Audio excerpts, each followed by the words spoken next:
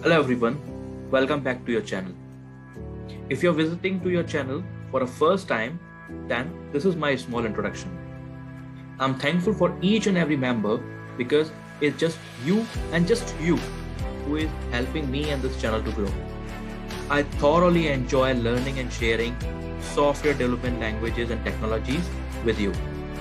It's a mission which I am trying to drive to share knowledge with everyone whose aim is to establish career in software. Please keep watching, sharing and motivating others to subscribe to your channel. Also press the bell icon to never miss the updates. Thank you. Let's start learning.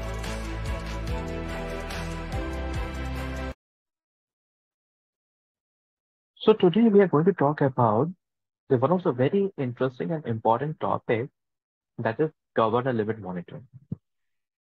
Governor limits we have already discussed in the previous session. Today we are going to talk about the monitoring.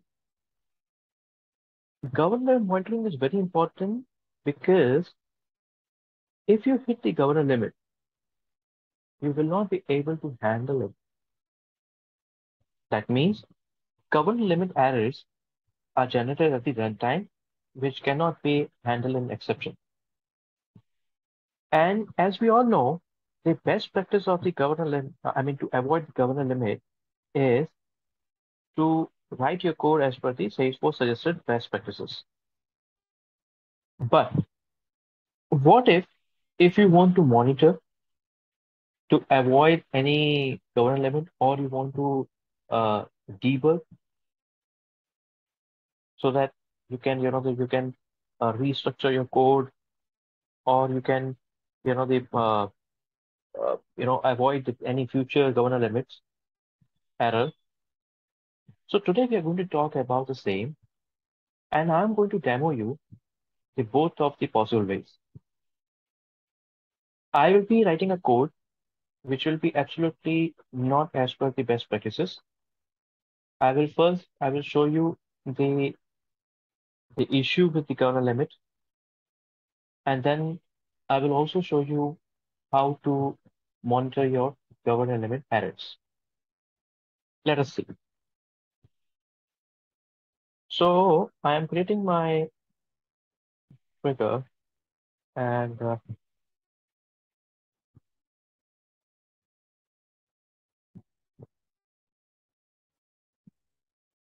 it's my trigger. Okay. And here what I'm creating first list of count.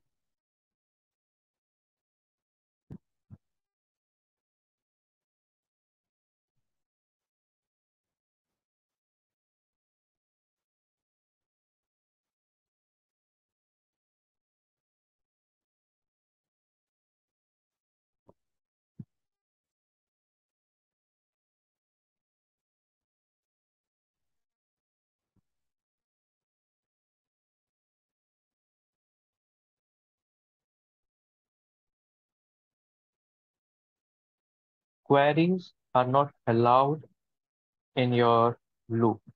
But as I said, this is not as per the best practice.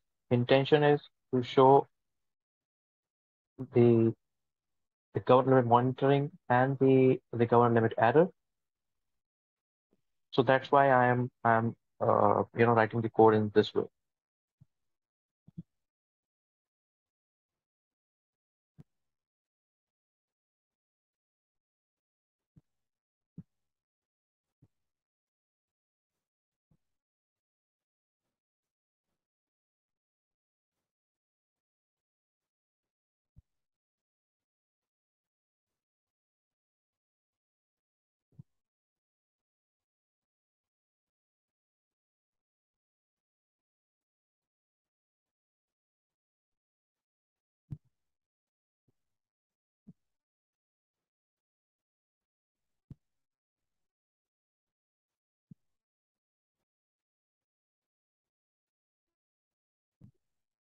Okay.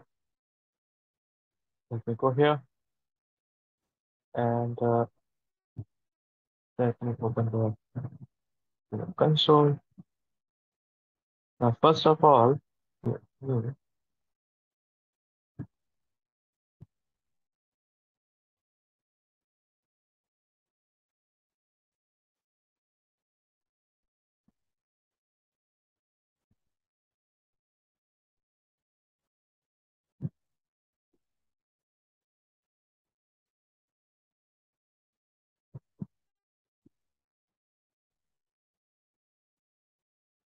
these queries and everything I have already discussed. This is available in the playlist and uh, you, you, you will find the playlist in your I button, right hand side, topmost section. There will be I button. You can refer the, uh, the playlist from there.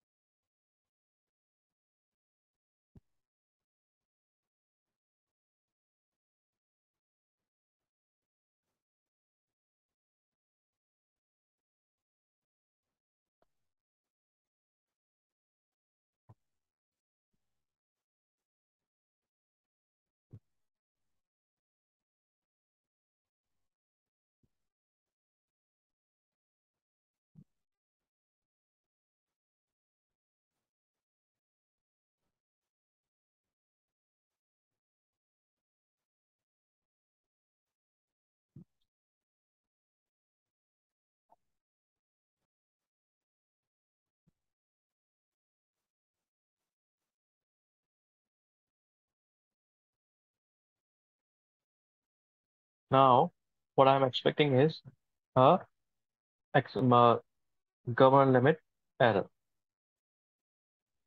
Let's see.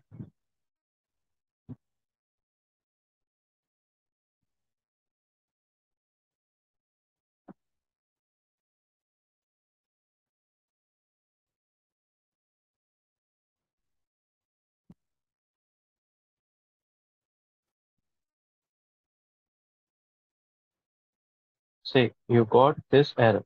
Too many SOQL queries, one not one, right?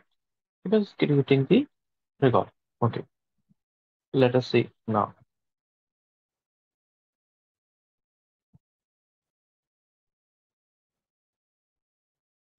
So there is no new log open because there's a there was a the governor limit, right? And due to which the uh, it, uh, we were unable to insert any account. Okay. Now let's resolve this. Okay. And parallelly, just to monitor your uh, governor limit, I am adding I'm adding a limits class. Now, as soon as you will put your dot here, you will see n number of uh, you know the uh, the functions.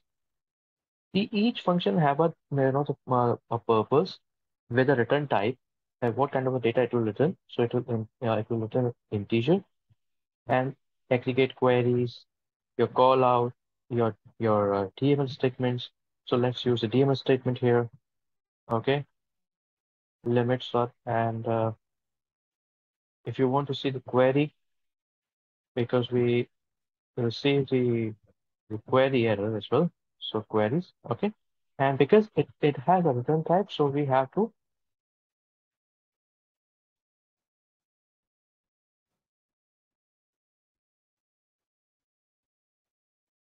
we have to create a variable to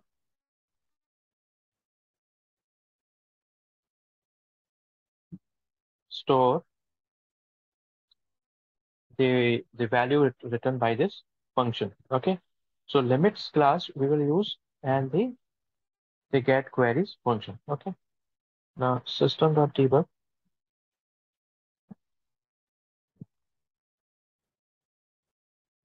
DML count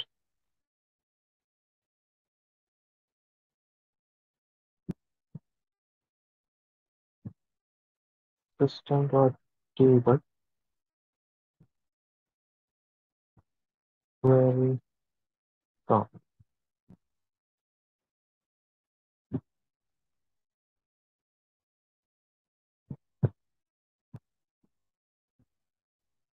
Okay. Saved. Going back to your administrator block and uh, execute highlighted. Okay. Go here. Debug only. So DML count is one.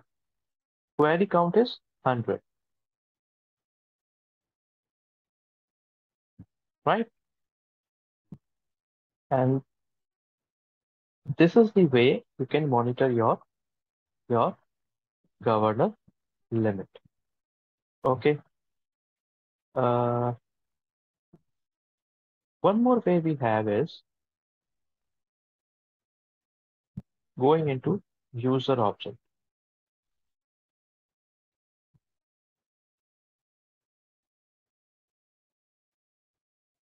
So you will go into the user object and uh, for that user,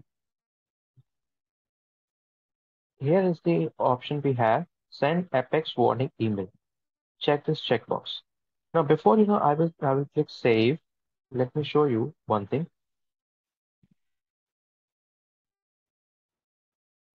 Before that, let me let me uh, let me do one thing. Let me because I have to show you email. So as you can see here, the count is 59, right? Okay. No new no new email we have received, right? So I am now saving this. I'm I'm, I'm uh, checking this checkbox, and this will also uh, give me the count of how much you know the uh, the governor limit uh, we have consumed. So basically, this email got get triggers when we consume the the governor limit more than 50%. Okay. So going back again here, and in the in here, and let me first of all wait. Okay. And now, as you can see, no new email. Okay, it's 59. I'm clicking execute.